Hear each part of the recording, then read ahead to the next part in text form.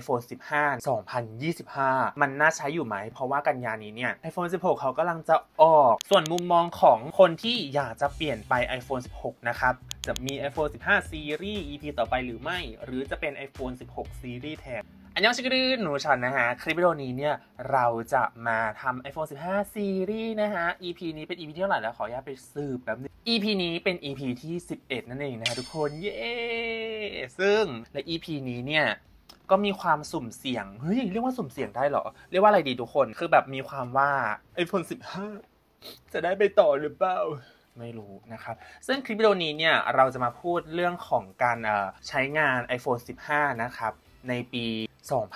2025 มันน่าใช้อยู่ไหม เพราะว่ากันยานี้เนี่ย iPhone 16 เขากำลังจะออกแล้ว iPhone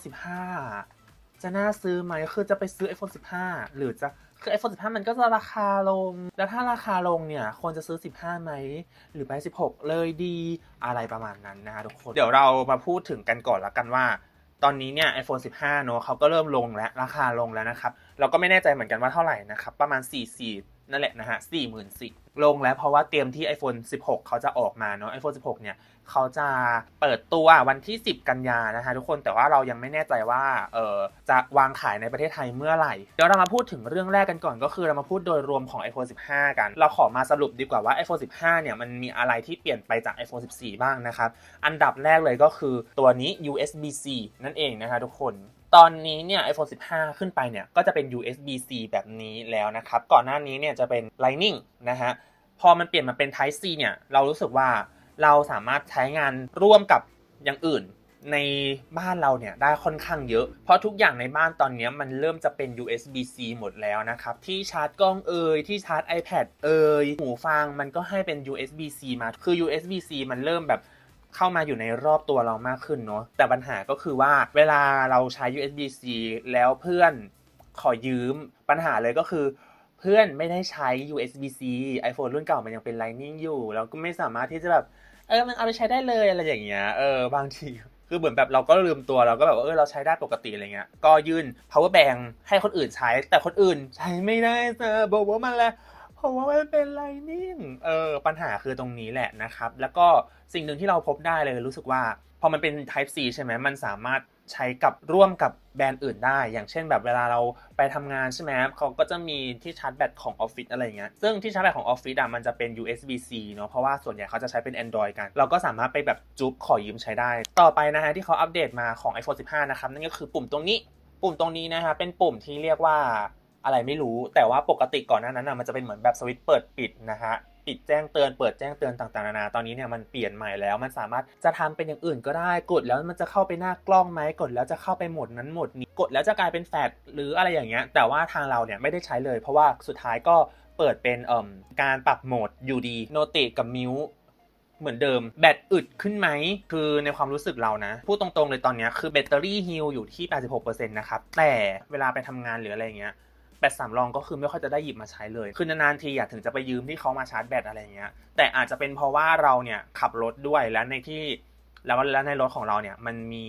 Apple CarPlay มันก็เลยเสียบชาร์จแบตไปได้ในตัวอะไรประมาณนั้นหรือเปล่า แต่ว่าบางทีเราไปทำงานใช่ไหมเราก็แบบทำงานอย่างน้อยประมาณ 8 ชั่วโมง เราก็อยู่ได้ถึง 8 ชั่วโมงเลย ไม่ได้มีความว่าแบตมันจะหมด เรารู้สึกว่าแบตมันค่อนข้างอึดถ้าเราไม่ได้ใช้งานอะไรมาก พอไปทำงานใช่ไหมเราก็จะนั่งโฟกัสแต่กับงาน มือถือเราก็จะไม่ค่อยได้เล่นเท่าไหร่อะไรเงี้ยถ้าเล่นก็แค่เหมือนแบบเลื่อนถ่าย TikTok ดู YouTube ดู IG ดูสตอรี่นู่นนี่นั่นอะไรประมาณนั้นอะแบตก็ไม่ได้ล่วงเยอะไม่ได้แบบว่าวื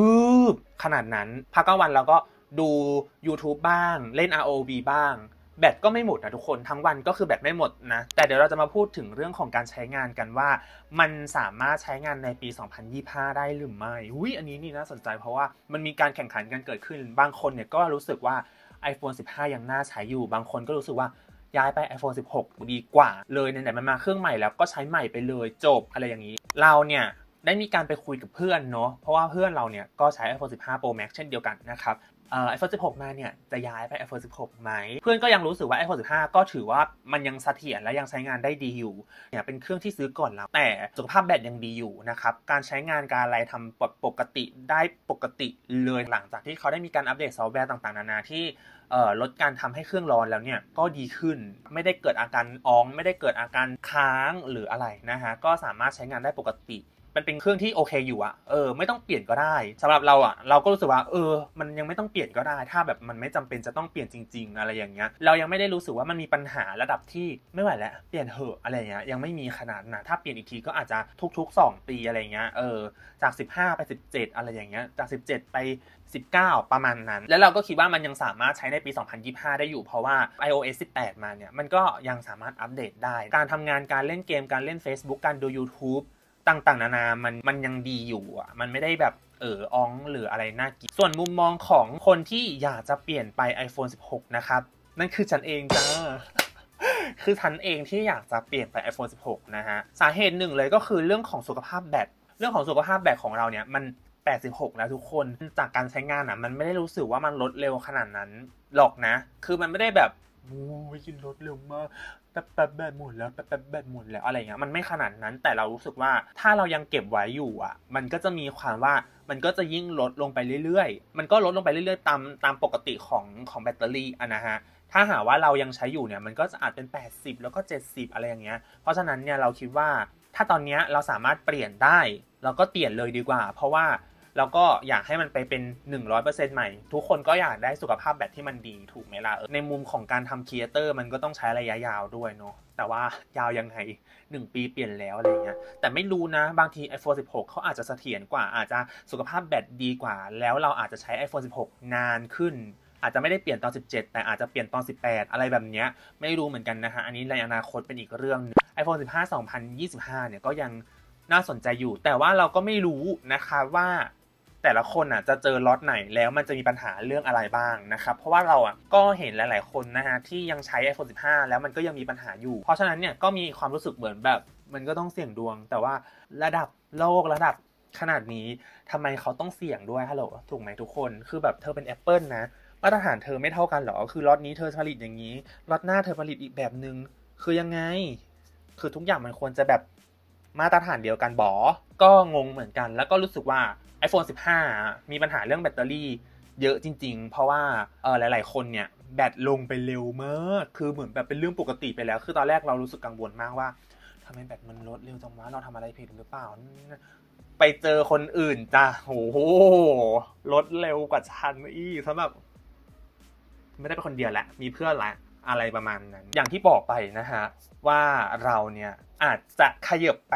16 นั่นเองนะทุกคนแต่ไม่รู้ว่าจะได้เครื่องเมื่อไหร่ อันนี้เราก็ต้องรอดูกันเพราะว่าเครื่องมันออกวันที่ 10 ใช่ไหมมันเปิดตัววันที่ 10 แต่ว่าประเทศไทยจะขายเมื่อไหร่อันนี้ ต้องรอติดตามดูอีกทีหนึ่งนะคะ แต่ว่าประมาณ 80%แหละที่จะเปลี่ยนไป iPhone 16 ทุกคนก็อาจจะได้ดู iPhone 16ซีรีส์กันนั่นเองนะทุกคนเย้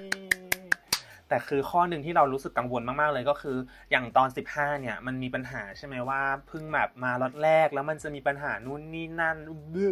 คือฉันเองก็เป็นหนึ่งคนที่กลัวเรื่องนั้นเช่นเดียวกัน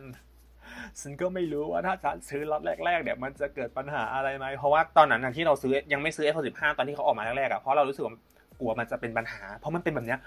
ทุกปีเลยคือแบบ13 14 15คือเป็นทุกปี ทุกคนจะมีความแบบมันแบบนั้นมันขึ้นจอเขียวมันอย่างนั้นมันอย่างนี้ คือแบบ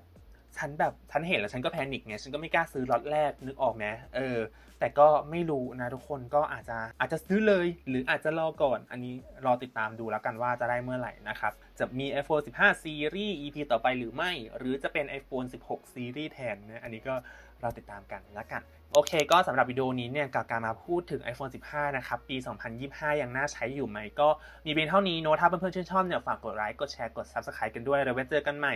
EP หน้าแล้วก็วิดีโออื่นฝากดูกันด้วยนะจ๊ะไปแล้วสวัสดีครับบ๊ายบาย